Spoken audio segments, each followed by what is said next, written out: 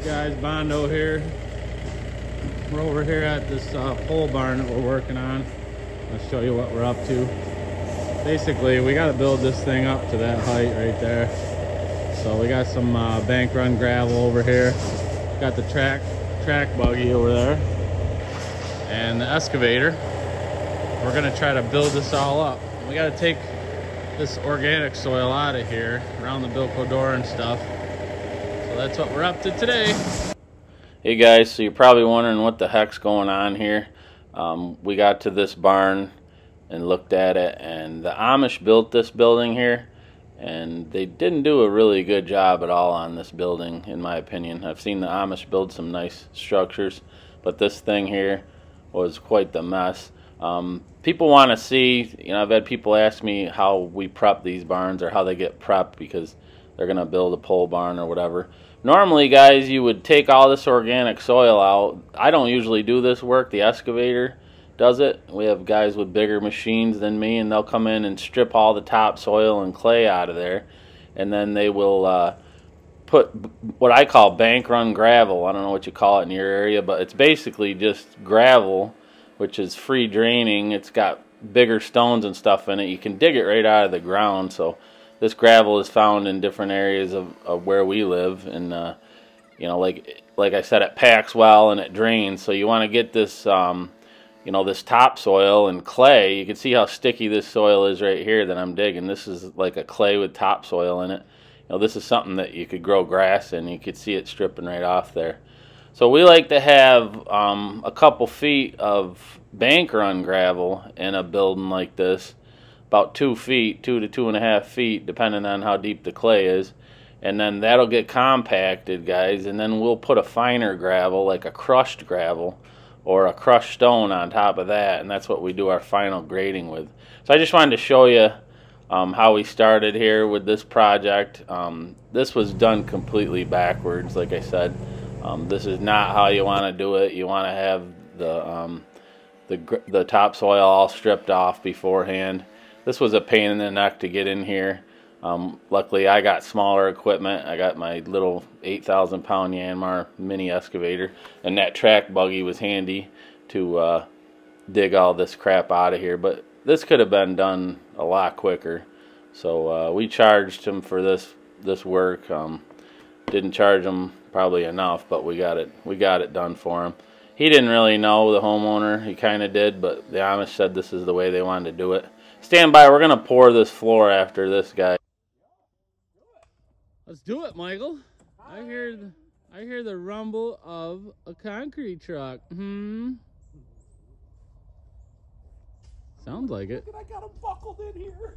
What do you got? Oh, so the color. Hold on, motherfucker. Color all buckled in your seat. Like it's a passenger or something.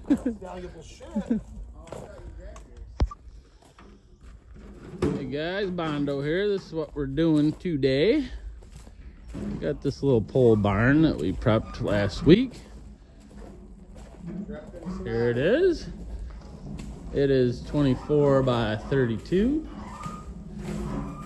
And we got a little, we built this little entranceway to so we can have a better set of stairs going down in. We laid these blocks up. Me and Big Biscuit got that done the other day, so this is it. We're just gonna shoot it right through the door. We're gonna use the track buggy, but we decided just to shoot it right through the door. Maybe we'll use this guy a little bit to hit in here. No big deal. Right, Biscuit? I ain't no we in me, pal. You're wheeling? I'm not wheeling, I can tell you that much. I know who's not gonna wheel. Turn that laser off, will you? So it doesn't wear the battery out. Here we are, guys. We had to prep this. I don't know if I'll put the video footage of us prepping this, but they put the barn in before the gravel, which is not a good idea. So oh, I put in like two foot of gravel. yeah, we had to put two foot of gravel, and this corner was two foot low. If you build a barn like this, put the gravel in first, make it life a lot easier. We had to get the excavator inside there. What a pain in the neck. But we did it as usual. We got it done. Who buckles up the concrete color besides this dude here? Look at just like it's a it's a passenger. Buckle up, bitches. Buckle up, Butterfield. what do you got? No, I don't eat that. Thanks though. Here comes the mud, guys. Here it comes. Circle T, baby, rolling in. We got 13 yards of 4,000 pound concrete with a light air mixture in there today. What we got for a driver? Looks like that little. Who is it? Is it little Dwight or is it is it Dwight? Oh no, it's Big Rob, huh? Big Rob in the house. Coming in high, baby, coming in high. There's a wire there, bud. Be careful. I didn't see that. I didn't. That's why I get paid the big bucks, right there. That's why I pay myself so much. That's why I pay myself so much. That wire, I seen that. Easy, bud. Coming in slow. Yeah. You might clear it. No, no, you're not. No, stop. We're gonna have to push it up. Tuna, climb up on that truck and hold it, bud. You gotta pay attention when you're bringing in concrete trucks, guys. You could rip wires right down. There we go, huh? Yeah, it's just cable line. There's a power line, but that's higher. Bringing her in. Yeah, baby. Let's do this. Let's do this, Mike. That's right.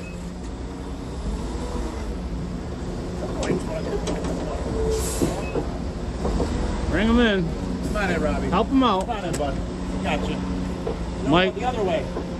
Yeah. oh yeah, watch that top there. Oh yeah. Oh, yeah. Look at that, baby. Let's do it. We'll see what the mud looks like, huh? We'll wheel that corner there. Oh, that's pretty stiff. That's pretty stiff right there. Yeah, we better add a little water to that, huh?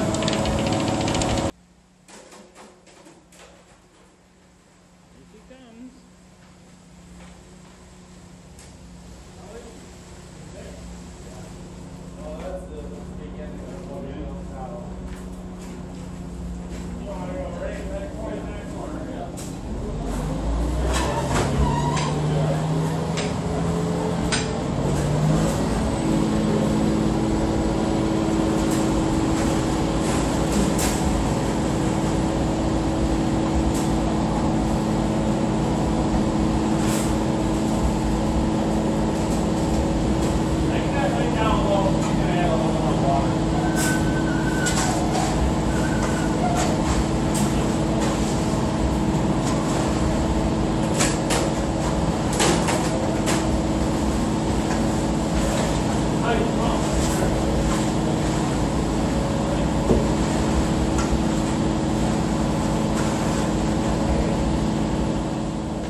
Okay, guys, so you could tell when we started out here the concrete was about a two slump, so we added a little water to it and uh, got it up to about about a five slump, make it a little bit more workable. So here we go. We're just gonna wheelbarrow this area that we can't really reach with the chute, and that was the plan. But as you'll see here a little bit, the wheelbarrow ended up getting a flat tire on us. Um, it started out just a little bit soft, and the more we used it, the air just must have been leaking out of it. And then the boys tried to blow it up with this battery powered air compressor thing, and that didn't seem to work either. So it ended up going completely flat. But you'll see, we ended up um, taking the skirt board off and using the um, track buggy to finish it up in this area that we couldn't reach here. But it ended up working out all right here, guys. Um, you wire mesh policemen, uh, if you pay attention, you'll see me pulling up the wire mesh. I got a hook in my hand there um, that we pull the wire mesh up into the slab, and that gets it off the bottom and up into the slab. Yeah, you walk on it a little bit here and there, but uh, it stays it stays up into the concrete because of the stones that are underneath the underneath it. You can see that hook in my hand right there. I like to pull it up as the guys are dumping it too, or you can reach right down in the mud and pick it up after. Pull it up there. You can see what I'm doing right there. so nobody can arrest me. The wire mesh policeman can't arrest me. Anyways, guys, uh, the, the wheelbarrow right here. Yep, boom. You can see it. It's completely flat right here. The boys are trying to blow it up. That was a complete fail. So here we go. We're getting that sucker out of there. Get the track buggy in here and finish it up. Another problem we have with this barn, as you could tell when we did it, it was, uh, you know, they did it completely backwards. The Amish guys did. But they also put the skirt board on. The skirt board, guys, on these pole barns is the bottom um, 2x6 that goes around the bottom. And generally, you pour the concrete to the top of that 2x6. Not always, but generally, that's the way the barn is built. Well, this skirt board was off about two and a half inches when I checked it with my laser.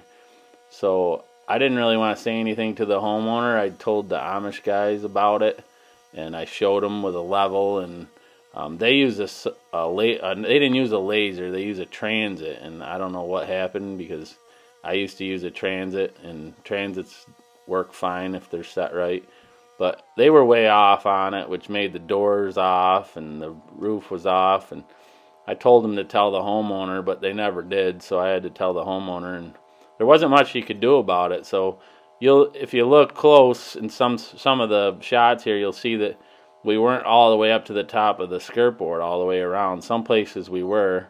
Like right here at that man door, there's about an inch of wood sticking up above our concrete.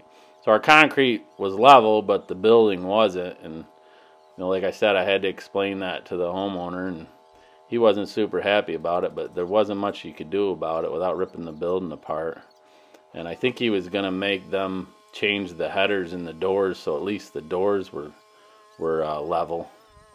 So, you know, that was just a pain. This this building, the way they build it, um, definitely don't build it this way. Don't you know have somebody build your barn and without prepping the soil first. Um, that that makes life a lot better when they get the topsoil and get the gravel in there. But here we are, guys. Like I said, we're just using the track buggy to get to the places that we can't shoot with. Um, there I am again with the hook, pulling up the wire. And uh, Big Biscuit's on the track buggy, just dumping her in there. And you can see Mike, he's going along right there with the laser, and he's putting in the pads. You can see he's, uh, we, were going, we weren't going by that skirt board, like I said, guys. We're just using our laser. And we're setting wet pads all the way around the perimeter. That's how we did it.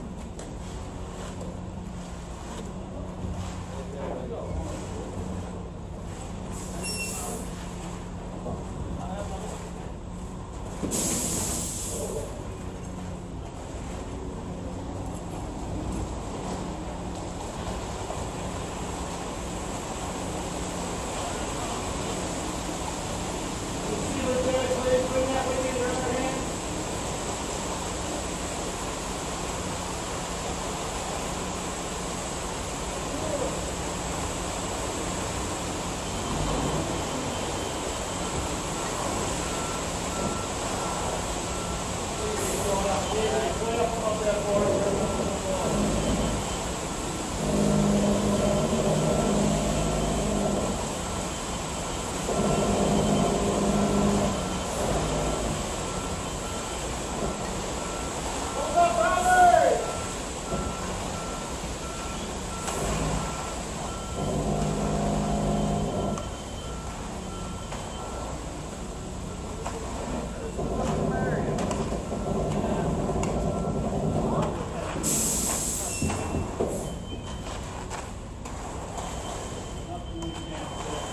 So guys, if you look at that overhead door right there, on the right, the bottom of it, you'll see where we put our board in, our bulkhead board to hold the concrete. That's level. We used a laser to level that. You could see their skirt board just to the right of that, the treated board that goes around the bottom.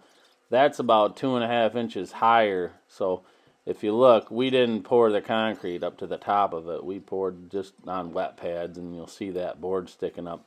Let me know what you guys would do about that. If you had a building built, you know, from whoever, the Amish or just anybody, and the darn thing was off two and a half inches, um, how would you fix that? You know, we just poured our floor level, but um, I was pretty concerned about it. Like I said, that doorway I stuck a level on the top of that door header, and in four feet, it was off about a half inch and four feet. And that's how I showed the Amish guy that he was off, and uh, then he believed me. anyways, let me know, guys, what how you would have fixed that. You know, would you make them rip the barn down or just rip the skirt board off? I don't know because this the roof was on this sucker, so that um that two and a half inches went right to the roof. So Anyways, back to the concrete, guys. We're just pulling this, me and Mike pulling this off by hand. You can see what we're doing here. Um, biscuit and tuna in the back there. Just laying it down, puddling it. We call those guys puddlers. I grabbed one here. Come along. They're just flat rakes, and we're just leveling the concrete out. And um, Mike's hitting the edge there, checking his edge again with the laser. Just make sure he was on. Yeah, and then he takes a stick and flattens it out, and then he'll remag it that's how we did it, guys. Big biscuit here. He's going to use the bull float and uh, lay it down. You can see we were bull float sideways and then we bull float this other way. Wherever you can reach. You don't want to get ahead of yourself. Right now he can reach this area. So we'll have him bull float this before we go any further. And the side there we did from the side. You can see he had already bull floated that. So this is the first truck, guys. We're just waiting on the second truck. Actually had plenty of concrete on this day. I didn't need uh, as much as I ordered, but sometimes that happens. So stand by, we'll hit the last bit, and then uh, I'll show you some of the finish work that we did on it, on the slab.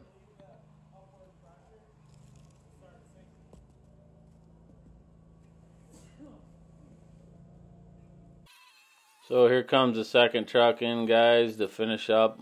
We only needed a couple yards to finish it. I think I had three coming, and we only needed probably less than two. But we just got it right in there. The slump was good. We didn't have to mess with it. Um, the driver had it just how he wanted it. So same thing. We just raked it out, and uh, me and Mike pulled it right to the door. When you get to these doors, guys, you want to make sure you really pay attention and get the door good because when the seal comes down on your door, you want the concrete really flat and nice right there. And then we actually taper from the door, the where the door seal hits, we'll taper it out by hand. We'll dig that out and put a little bevel there so rain doesn't um, hit the door and go under the door and into the slab. Look who came back to play. Mike couldn't stay away. He had to come back and help me finish this floor. Look at that little guy. Get out of here. I don't want you in my concrete. Right now, Mike has his blades very flat and he's just going nice and easy. This concrete's drying real slow today, so there's no sense of uh, revving that machine up. It's just, this is a small job here, so we're just going to take it nice and easy. And she'll look really good when we're done. No sense of rushing. There's a little wet spot in here. This corner isn't getting any wind or sun. We put a fan over there, but it might blowing into that corner. I think it's helping.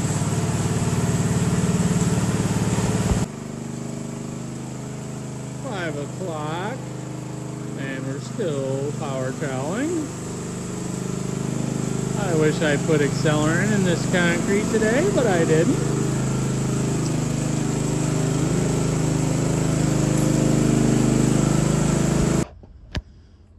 Okay guys, here she is. 10 hours later, 6 o'clock at night. So that's what you gotta expect here in the fall, central New York, if you don't put any chemicals or nothing in it.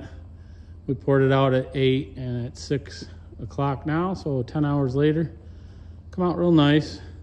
Customer wanted it not slippery, So we didn't burn it in. Um, one, he's got a wife that's sick, and they're gonna put a ramp here so that they can get her in and out better. And they do not want a slippery floor, so um, we left it just a little bit whipped up, and uh, that should sweep nice, but not be super slippery for them for the customer. So thanks for watching, guys, and I'll catch you on the next video.